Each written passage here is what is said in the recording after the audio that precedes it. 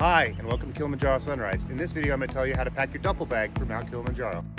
First of all, we recommend a 90 liter bag, so you have enough room to fit everything.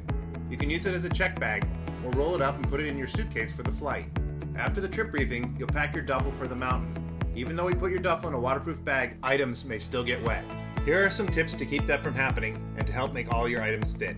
Our first suggestion is to roll up items like pants and jackets. Place items you don't want wet in dry bags and ziplocs. Stuff smaller items inside your boots. Pack your toiletry items in a toiletry bag. Place your snacks in ziplocs. Bring a pillowcase to stuff your jacket into for a pillow. Wrap breakable items inside a fleece. Pack socks and underwear in mesh bags or dry bags. Remember to keep the weight below 33 pounds.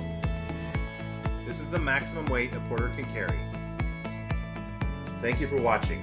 For more helpful tips, visit us at KilimanjaroSunrise.com. Please like and subscribe.